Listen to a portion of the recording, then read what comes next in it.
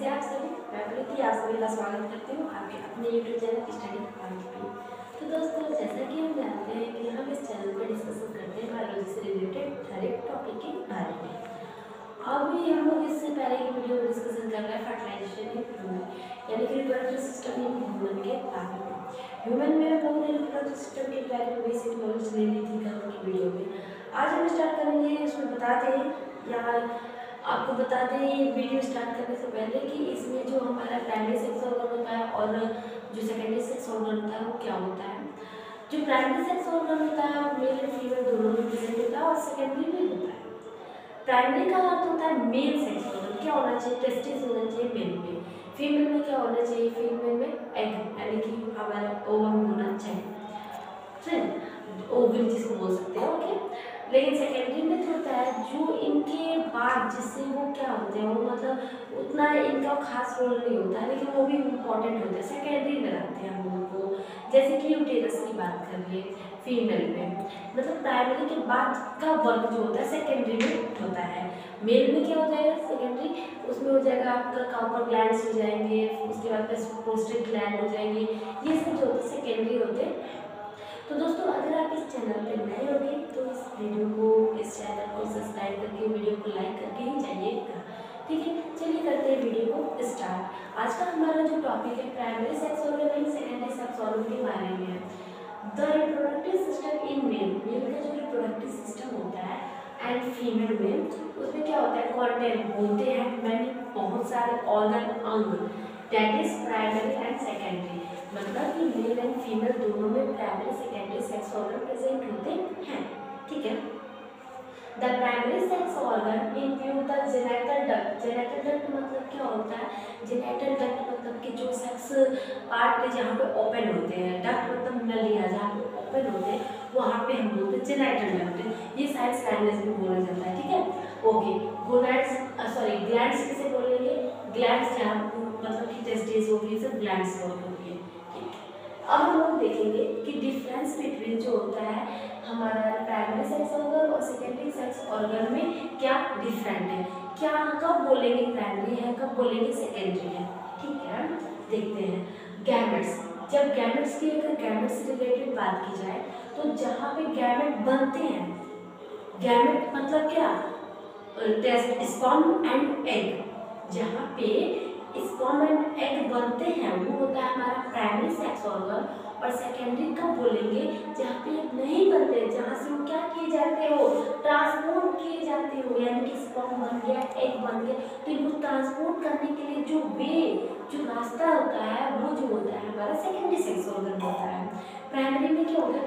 Mail की body में sperm बनना प्राइमरी हो। गया फीमेल बॉडी में एग बनना प्राइमरी हो। गया लेकिन क्या स्पर्म बन के वहीं पे स्टोर रहेगा? नहीं ना वो तो फीमेल की बॉडी में रिलीज़ होगा ना तो जो फीमेल की बॉडी में जिस वेव से, जिस रास्ते से आया उसका सेकेंडरी था। फीमेल बॉडी में एक बन गया, दोनों ओवरी में किसी एक में एक बन गया। सॉरी ओवरी बोलते हैं माई जो दोनों हमारे ओवरी तो सही तो बोले, ठीक है तो वहाँ पे से जो एक था, एक क्या वहीं पे रहेगा? वहाँ से जिस रास्ते से आया, वो होता है सेकेंडरी तो जहाँ पे गैमेट बनते हैं, वो क्या होते हैं? में, वो जहाँ पे गैमेट प्रोड्यूस होते हैं, वो प्राइमरी सेक्स ऑर्गन होते हैं, जहाँ से गैमेट ट्रांसपोर्ट किए जाते हैं, वो सेकेंडरी सेक्स ऑर्गन होते हैं। ओके सेक्स हारमोन की बात की जाए हारमोन मतलब समझते हो ना कि बॉडी में बहुत सारे हार्मोन्स क्रिएट होते हैं, हमारे बॉडी की एक्टिविटी को करते हैं। मतलब हमारे बॉडी में जितनी भी एक्टिविटी हो रही है, हमारे किसी न किसी हार्मोन के कारण हो रही है, ठीक है? तो वो हार्मोन्स होते हैं। हार्मोन्स में सबसे बेस्ट हार्मोन का नाम बता दूँ आपको तो ऑक्सीटोसिन जिसे हम लव हार्मोन के नाम से जानते हैं, ठीक है? लव हार्मोन किसे बोलते हैं? Oxytocin oxytocin is a love hormone okay उसी तरह बहुत सारे हार्मोन्स होते हैं। अब वो हार्मोन जब पढ़ेंगे तो जानेंगे एक एक हार्मोन्स के बारे में, ठीक produce sex hormone primary sex hormone में हार्मोन जो होते हैं क्या होते हैं सेक्स हार्मोन प्रोड्यूस होते हैं। लेकिन सेकेंडरी में हार्मोन प्रोड्यूस नहीं होते हैं। सेकेंडरी में सेक्स हार्मोन प्रोड्यूस नहीं होते, लेकिन प्राइमरी में क्या होते हैं? प्रोड्यूस होते हैं। ठीक है। थर्ड है कंट्रोल ऑफ़ एक्टिविटी मतलब कि क्रिया, हमारे जो अंदर उनके यानी कि जो रिप्रोडक्टिव पार्ट में एक्टिविटी हो रहा है, उसको कंट्रोल कर करता है। तो प्राइमरी सेक्स हार्मोन में इसको कंट्रोल होता है pituitary gland pituitary gland master of gland के नाम से जानते हैं मटर के दाने के समान होती है हमारे हमारे हिंड ब्रेन में, ठीक है? तो क्या बोल हैं कि अगर कोई एक्टिविटी कंट्रोल की जाती है तो प्राइमरी सेक्स के द्वारा की जाएगी, लेकिन कहाँ की जाएगी? पिट्यूटरी हार्मोन में की जाएगी पिट्यूटरी ग्लैंड्स में। लेकिन सेकेंडरी सेक्स हार्मोन में क्या होता है? कंट्रोल ऑफ़ हार्मोन इसमें भी हार्मोन कंट्रोल होंगे।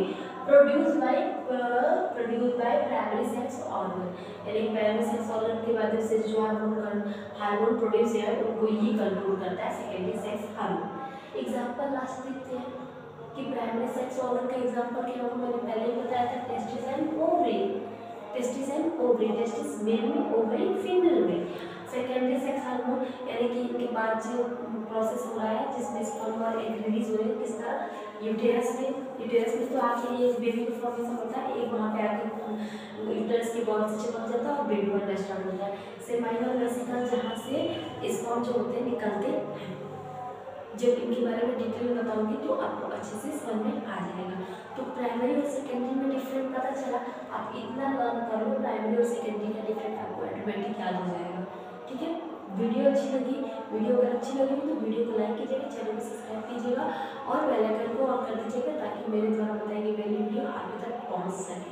मिलते कल की वीडियो में, इससे मज़ेदार टॉपिक लेकर मतलब क्या टॉपिक रहेगा हम लोग का मेल सेक्स हार्मोन यानी कि मैं पहले फिगर बनाऊँगी, उसके बाद उसके आगे बताऊँगी। ठीक है, तब तक के लिए बाय बाय